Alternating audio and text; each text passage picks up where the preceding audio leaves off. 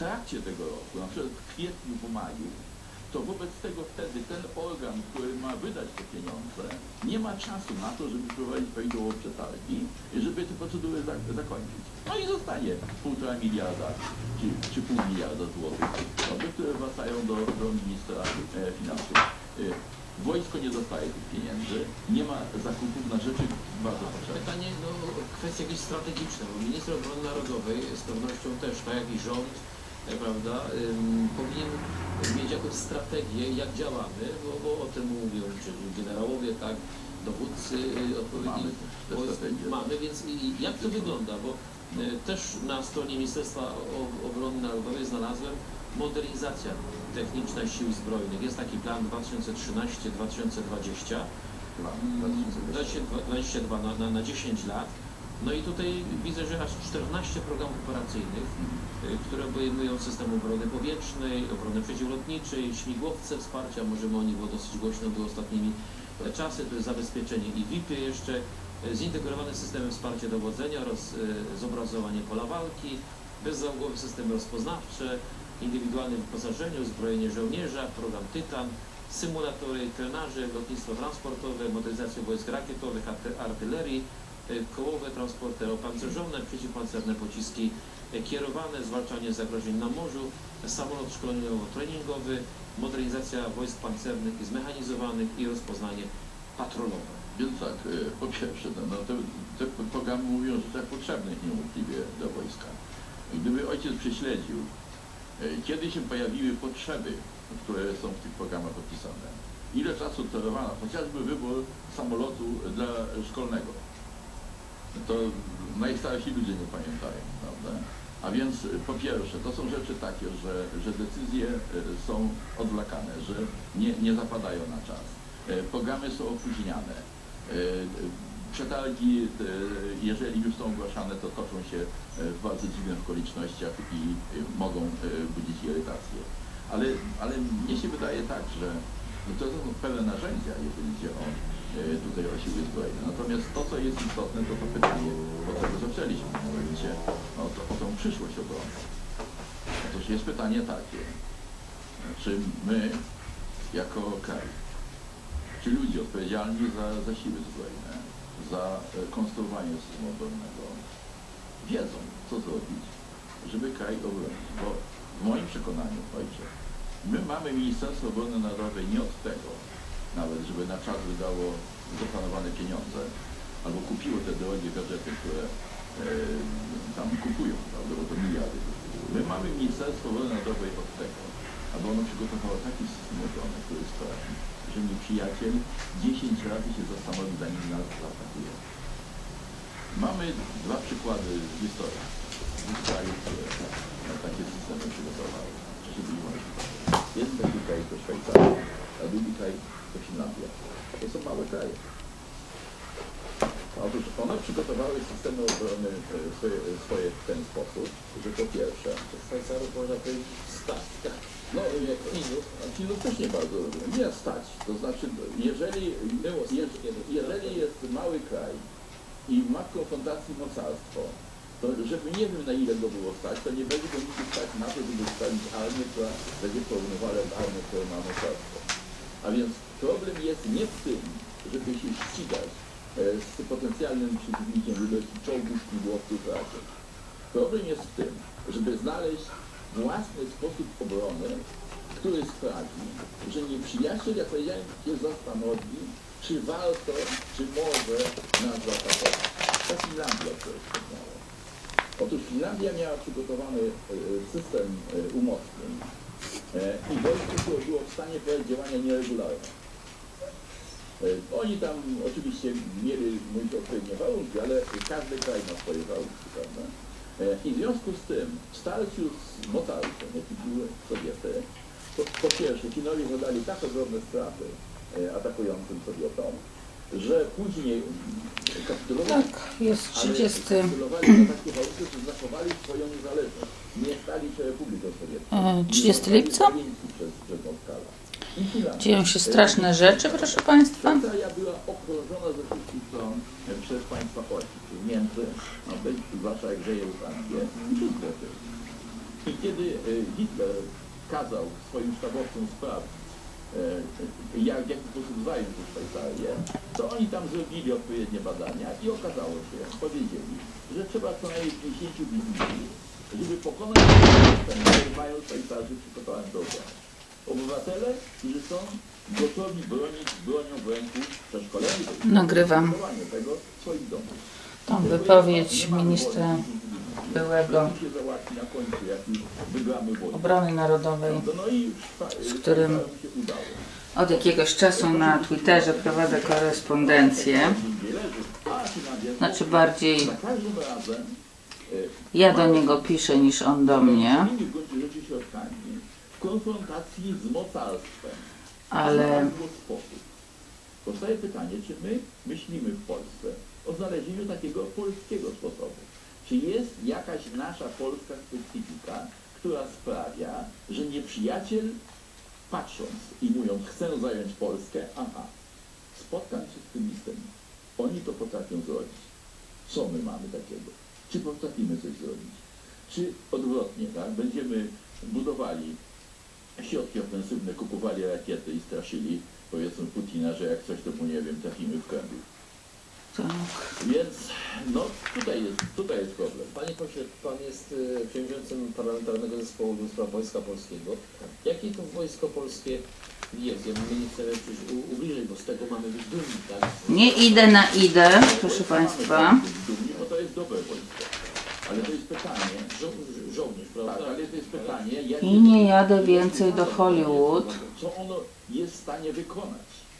Tak? Bo też mamy odpowiednie... Gdzie aresztowano mnie w Los Angeles na lotnisku Lax w kwietniu 2011 roku i przetrzymywano kilka godzin bez podania przyczyny. Z pewnością mogę powiedzieć, że e, z wojska, więc żołnierzy, Tak. od najniższego do praktycznie najwyższych stopni możemy być dumni. To e, we wszelkich jakichś e, współdziałaniu e, polskich wojsk w różnych i to w misjach, ale i w różnych ćwiczeniach sztabowych natowskich.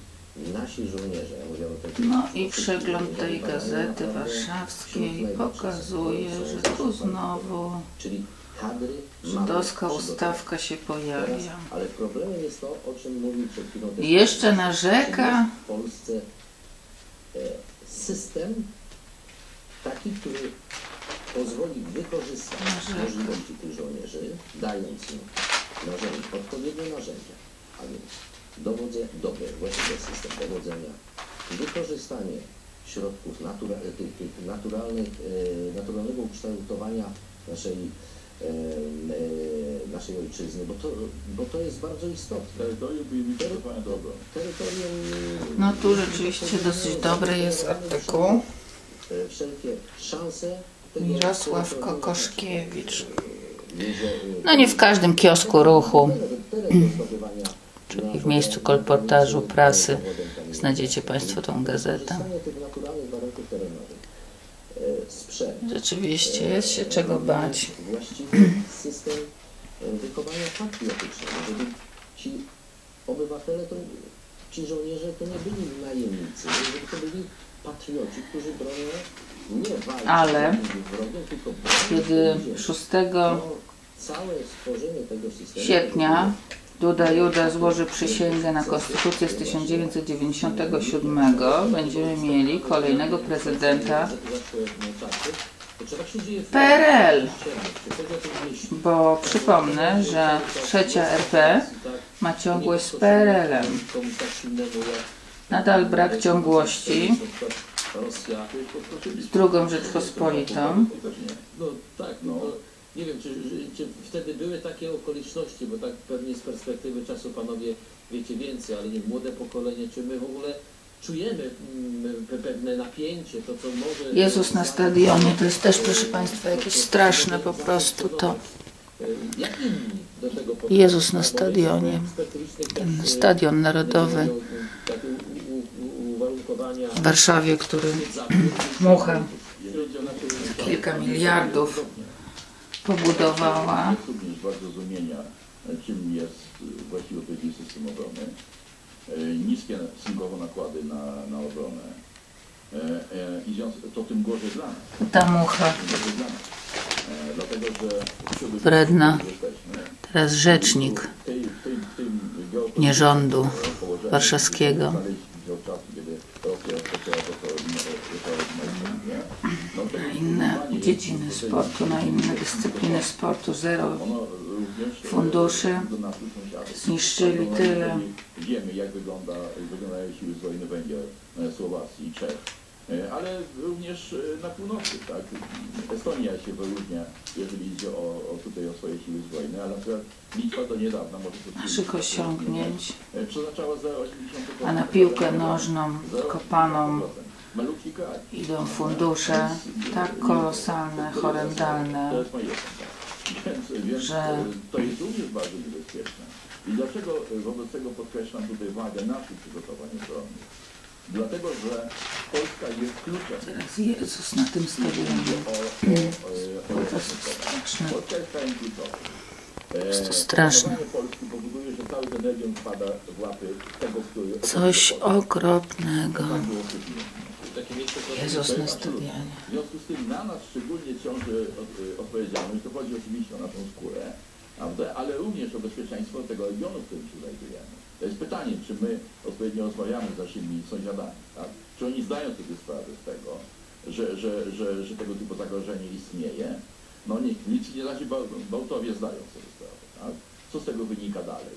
Czy tworzymy wobec tego razem z naszymi sąsiadami pewien szerszy układ militarny, który sprawi, no, że ten agresor, który ewentualnie by się wybierał, będzie wiedział, że nie będzie miał do czynienia ze słabymi armijkami poszczególnych krajów, tak, ale z przygotowanym systemem obywateli tych krajów. Oni sobie tam rozmawiają. No to jest, to jest wielkie pytanie, które stoi również jako wyzwanie. Nagrywam to dlatego, żeby mieć dokument także dla siebie, tak co pan Szeremietyw Ja bym chciał powiedzieć, że ojciec pytał tam mówi. Warto się spytać, jakiej narodowości jest Szeremietyw. nie z roku 20.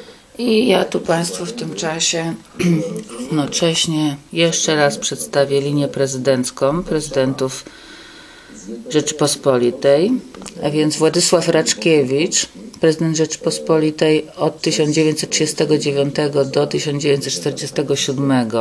Przecież w 2008 roku Przypomnę, że na uchodźstwie znajduje się prezydent rządu Rzeczypospolitej, dlatego że Niemcy napadły na Polskę 1 września 1939 roku, a nie ma traktatu pokojowego, o którym ci panowie w ogóle nawet nie wspomną zapewne przez tyle godzin tej audycji. Sukcesję po Władysławie Raczkiewiczu objął August Zaleski, prezydent Rzeczypospolitej od 1947 do 1972, a po nim Juliusz Nowina-Sokolnicki, który także bardzo długo był na urzędzie od 1972 do 2009 roku. Po nim sukcesję objął Zbigniew, Jan Zbigniew Potocki.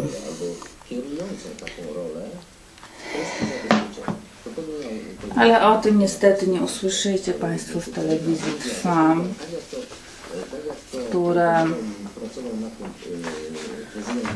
tak jak widzimy ignoruje zupełnie restytucję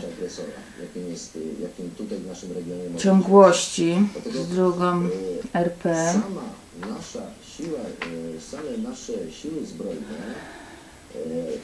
Powinny wyznaczać kierunki rozwoju sił zbrojnych, ale również powinny być Różnica w skrócie można powiedzieć między drugą RP a trzecią RP jest taka, Zbrojnych 10 lat. główna różnica, że suwerenem w drugiej RP jest prezydent rządu, Rosja zamierza skończyć w 2020. a w trzeciej RP naród. Ale też napisano, aktualizacja tego 11 września 2013. Do czego oczywiście. Jesteśmy bardzo przyzwyczajeni, ale widzimy, proszę Państwa, jak e, działa ten suweren naród i jak ośrodek toruński uprawiać tutaj nam, wyznawać nam tutaj próbuje zalecać e, niestety religię wyborczą, która przy partyjnym systemie zawsze będzie niestety częściowa tylko. Ten suweren nie jest reprezentowany przez żadną partię, bo partia w samym semantycznym znaczeniu ma już zawartą część. Jest to część, tylko część. Natomiast suweren jest całością. Tak. no I to, się zmienić od dwóch lat. od Nie, to, tą formułkę słyszymy często na Komisji Obrony Narodowej. Jak minister Nie. Mroczek e, często to powtarzają. Ostatni mój film, który umieściłam, przykładem pokazuje na slajdach konstytucję, która obowiązuje 80 już lat, e, z 1935 roku, zwaną potocznie Konstytucją Kwietniową, od 1935 do 2015 roku. To jest okrągła rocznica 80 lat. I to się zbiega także z okrągłą rocznicą 70 lat Po przemysł, to bez- jest przemysł warunkowej kapitulacji Niemiec, którą obchodziliśmy 8 maja 2015 roku, 70-lecie i nadal nie ma płacą traktatu pokojowego. I jak na razie żadna strona w Polsce trzeciej decyzji, RP nie podejmuje tematu negocjacji traktatu pokojowego, który jest polską racją stanu, dlatego że brak traktatu pokojowego powoduje permanentny stan wojny z Niemcami. I ta konstytucja To już e, także na filmach pokazywałam, ale dla Państwa, którzy nie widzieli moich poprzednich filmów, ona zawiera 81 podczas posiedzeń artykułów zaledwie. Mieści się cały, cała ta ustawa konstytucyjna, bo ona nazywa się ustawa konstytucyjna, śmieszna. na 12 stronach. I uchyliła ta konstytucja z 1935 roku, konstytucję marcową z 1925, dwu- 1921 roku w artykule 81 punkt drugi. że dwóch oferentów odpadło z powodów formalnych. Czyli nawet nikt nie oglądał tych I- śmigłowców, tylko dlatego, że gdzieś tam coś w dokumentacji nabałaganili, pomylili się, źle napisali, może coś było. Stan wojny z powodu braku traktatu pokojowego powoduje, że prezydent. Rzeczypospolitej pochodzi z mianowania, z sukcesji, czyli, a nie z wyborów powszechnych. Nie znam żadnego, który przeprowadzony. A także ma kompetencje ustawodawcze, bo parlament w stanie wojny nie działa. I jak widzimy, rzeczywiście tak jest, bo nie można naprawdę, jak się przygląda legislacji w trzeciej RP, powiedzieć, żeby to działało. To nie działa, proszę Państwa, żeby w jednej kadencji Sejm i Senat uchwalił 666 najczęściej bywa tak, że z dwóch... y, czy z śmieci prawnych, poprawek do poprawek. Poprawek. To można tutaj kilkakrotnie poprawkę do poprawki, poprawkę, poprawki. Przeczytam Państwu dział ósmy. Siły zbrojne. I to jest piękne, pięknie napisane, prostym językiem, zrozumiałym dla wszystkich. Artykuł 61 jest pierwszy w tym rozdziale. Punkt pierwszy. Siły zbrojne stoją na straży bezpieczeństwa i praw zwierzchniczych Rzeczypospolitej. Punkt drugi. Wszyscy obywatele są obowiązani do służby wojskowej i świadczeń na rzecz obrony państwa. I tutaj, proszę Państwa, ten punkt drugi zamyka natychmiast e, dyskusję. Oczywiście można się kłócić, jak tutaj się Żydzi kłócą przy stole, co, co niedzielę w TVP Info rano i w TVN-ie e, kłócą się kilku Żydów, e, kłóci się e, co i jak, ale to, się, to jest wszystko po prostu jasne. No. Wszyscy obywatele są obowiązani do służby wojskowej i świadczy na rzecz obrony państwa. Artykuł 62. Punkt pierwszy. Prezydent Rzeczypospolitej zarządza corocznie pobor rekruta w granicach ustalonego kontyngentu. Punkt drugi. Zmiana kontyngentu wymaga aktu ustawodawczego. Artykuł 63. na dodatkowy zakup dla Punkt pierwszy. Prezydent Rzeczypospolitej wydaje dekrety w zakresie zwierzchnictwa sił zbrojnych, a w szczególności określi dekretem organizacja naczelnych władz wojskowych, oznaczając w nim sposób kontrasygnowania aktów wydawanych przez siebie jako zwierzchnika sił zbrojnych. i punkt drugi. Prezydent Rzeczypospolitej postanawia o użyciu sił zbrojnych do obrony państwa. I tutaj mamy już kolejną różnicę do systemu trzeciej RP, w której Sejm i Senat decydują o użyciu sił zbrojnych. o tą filozofię. no? Bo- właśnie, bo tutaj wychodzi już, powiem, emanacją suwerena, reprezentacją suwerena w trzeciej RP jest właśnie Sejm i Senat, ten okropny, satanistyczny organ? A, ponieważ na przykład za granicą mogą nam oferować taniej, a jeszcze w ogóle taniej jak to jest używane, a więc e, pozyskiwanie czegoś z no a w drugiej. RP suwerenem jest prezydent, także w czasie pokoju, ale tym bardziej w stanie wojny. A jesteśmy w stanie wojny i ja zwracałam panu Szeremietowowi uwagę, że, a on znowu zaczął o tym, że ta granica na Odrze i Nysie Łużyckiej musi być chroniona, a on znowu swoje, żeby ściągnąć wojska i przenieść wszystko na granicę wschodnią. to nie mamy systemu obrony. A co z Niemcami, proszę państwa? Myślicie Państwo, że Niemcy odstąpili od swoich planów, które przez setki lat wobec Polski realizowali? Trzy rozbiory Polski. Dwie wojny światowe. Państwo niemieckie w XX wieku wywołało dwie wojny światowe, obie przegrało z Kretesem i udowodniło tym samym, że państwo niemieckie nie jest zdolne do pokoju. Dlatego ma zakaz eksportu przemysłu zbrojeniowego, czego niestety Siemoniak nie rozumie. I mam wrażenie, że również nie rozumie tego dowódca generalny e, generał Mirek. Już na tej mapie tutaj zaznaczyłam także okręg e, e, królewiecki, który byłby trzecim punktem traktatu pokojowego. Po pierwsze, traktat pokojowy, w którym e, wszyscy alianci i strona przegrana Niemcy kręcania, potrzebni są do e, podpisania go. Więc po pierwsze, odszkodowanie wojenne od Niemiec dla Polski w wysokości 1 biliona dolarów, czyli 1 tysiąca miliardów dolarów amerykańskich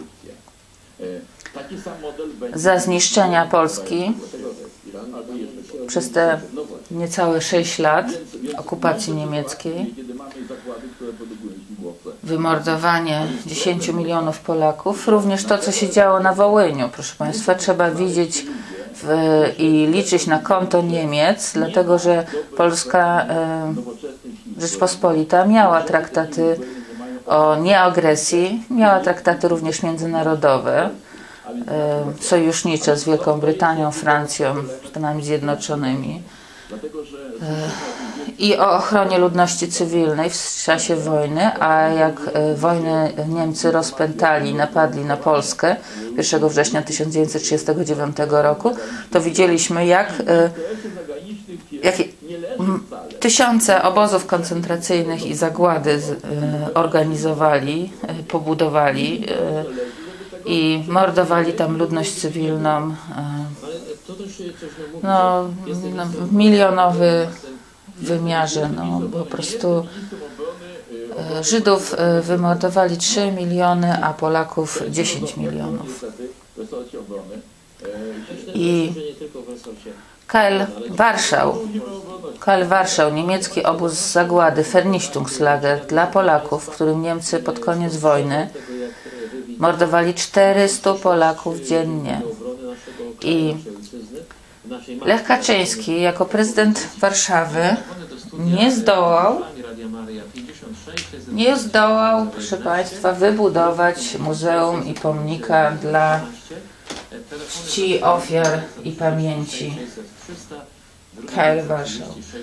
400 i dla widzów i słuchaczy z I dlatego 48 56 657 0013 drugi 48 56 657 0014 przykro mi, ale nie będę popierać więcej budowy żadnego pomnika witam, czy jestem słyszalny? dla Jacek Warszawy się Kaczyńskiego.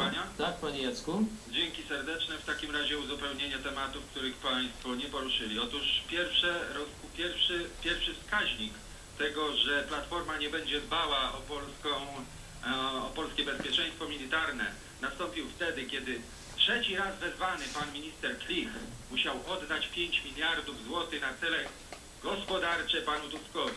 Proszę Państwa, to był pierwszy, że tak powiem, wyłom, którego dokonał pan Tusk e, w stabilnym finansowaniu obronności Polski.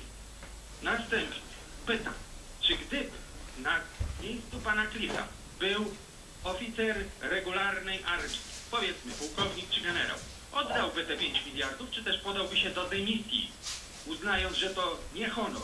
Tu jest pytanie, proszę Państwa, czy można politykom takim jak politycy Platformy powierzać bezpieczeństwo militarne państwa? Następnie mamy dwa następne tematy, również, również ekonomiczne. To się wiąże jednoznacznie. Offset za śmigłowce, które sprowadziła jeszcze pani Kopacz jako minister yy, zdrowia. Ta sama firma w tej chwili ma być, ta sama firma, która nie wywiązała się z tego offsetu, ma być dostawcą kolejnej partii śmigłowców znowu z offsetem, z którego się nie wywiąże? Gdzie jest offset za F-16, panowie? Milczymy. Nie wolno. Temat tabu. Nie poruszamy. I wreszcie, gdzie jest polska myśl techniczna? Proszę Państwa, tylu Polaków, powiem Wam gdzie, jest po prostu na zachodzie. Tam jest i tam będzie produkować swoją myśl i stamtąd będziemy kupować produkty krajów zachodnich zaprojektowane przez Polaków, którzy nie raz już w historii wykazali się wspaniałymi rozwiązaniami i najlepszymi y, modelami, jakie można było zastosować lub rozwiązaniami technicznymi. Żyjemy w kraju, w którym rządzą pseudo-politycy. Proszę Państwa, niech ktoś ich zapyta, który z nich miał w swoim procesie edukacji nauki polityczne. Oni się tylko nazywają politykami, sami się nazywają politykami. Panie bez Jacku, pojęcia. myślę, że te trzy kwestie e, też wystarczą. Dziękuję Panu za, za telefon. E, Panowie, No konkretne tak, to jest jakby, to jakby oczywiste, to znaczy to, to o czym Pan mówi. E, One się może nie aż tak ostro, ale pojawiły się w tym, co, co tutaj z Panem posłem mówiliśmy. Znaczy więc kwestia e, oczywiście jest taka, że po pierwsze mówię, skoro perspektywa e, ministra obrony narodowej, urzędującego ministra obrony narodowej za każdym razem jest taka, że e, ten przemysł nie jest najważniejszy. No właśnie, zdecydowanie odpartyjni trzeba ministra obrony narodowej, jak również e, powinien być w mundurze moim zdaniem.